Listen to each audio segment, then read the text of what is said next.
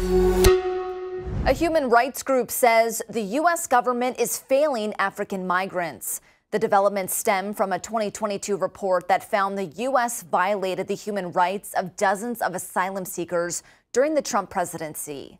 Among the allegations, torture and restraint. Take a look at one such constraint called the WRAP. The New York based group Human Rights Watch alleges the U.S. sent Cameroonians with credible asylum claims back to the country they fled and on top of that, mistreated an already traumatized group of people. Now, some of those subjected to the alleged violations are filing lawsuits against the U.S. Department of Homeland Security and immigration authorities. Plaintiffs in two lawsuits say they were fleeing violence against English speakers in their native country in Africa and then faced racist abuse in U.S. detention facilities. Among the more alarming allegations in the lawsuits, plaintiffs say they were tear gassed in confined spaces and subjected to solitary confinement. They also claim they were confined in restraints and subjected to medical neglect. According to the complaint, some Cameroonians began a hunger strike to protest the alleged mistreatment.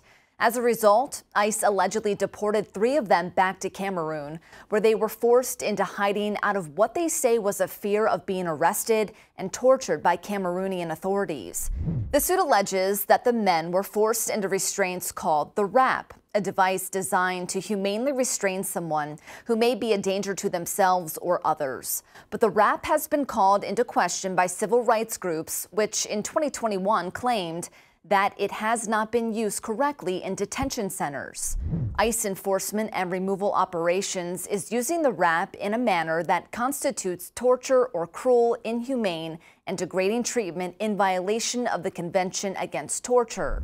An ICE spokesperson told the Washington Post that it does not comment on ongoing litigation.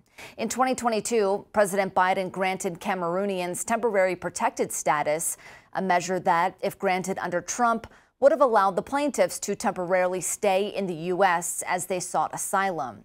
An attorney who helped bring the litigation says this is part of a bigger picture, saying, quote, the treatment of black migrants needs to be part of the broader conversation about race in this country, end quote.